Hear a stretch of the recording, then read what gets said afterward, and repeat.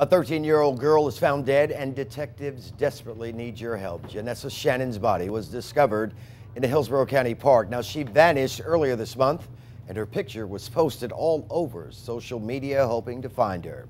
The Hillsborough County Sheriff's Office says now the search is on to find her killer.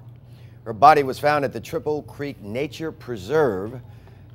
That's in Riverview. She was found by a hiker last Wednesday. The Sheriff's Office didn't announce they found her body until Saturday.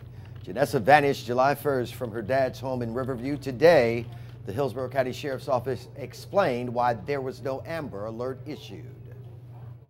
There's some strict criteria that are involved in Amber Alert to include the fact that there has to be some indication of an abduction.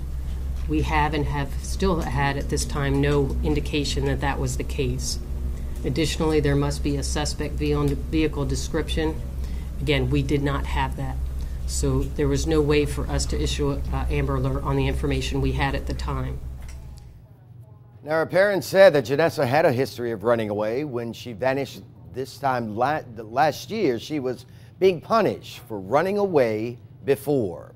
Another criteria for issuing an Amber Alert is that Janessa did not fit a history of mental illness, medication, or threatening suicide. The sheriff's office says detectives did search areas where she would hang out in Bradenton, where she lives with her mother, and also in Hillsborough County, where her father lives.